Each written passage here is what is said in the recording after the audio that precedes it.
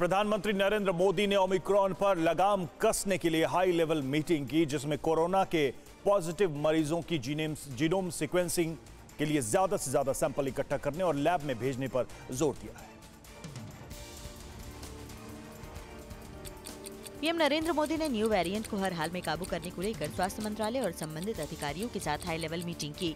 उन्होंने ट्रेसिंग और टेस्टिंग पर ज़ोर देते हुए सतर्क और सावधान रहने की बात कही है।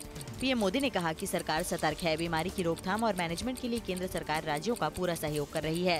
बैठक में प्रधानमंत्री को बताया गया कि अब तक देश में एलिजिबल लोगों की अट्ठासी प्रतिशत आबादी को पहला डोज दिया जा चुका है। पीएम ने कहा कि केंद्र सरकार कम टीकाकरण और बढ़ते कोविड मामलों और अपर्याप्त स्वास्थ्य सुविधाओं वाले राज्यों में उनकी सहायता के लिए टीमें भेजेगी।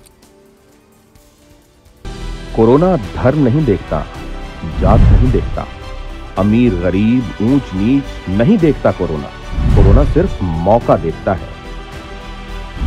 लेकिन आप उसे मौका मत दीजिए। बस इतना कीजिए, जब कभी दफ्तर से, बाज़ार से घर लौटिए तो इतना ख्याल ज़रूर रखिए, कहीं आपके साथ कोरोना आपके घर तो नहीं जा रहा। भूलिए मत, कोरोना अभी ज़िंदा है।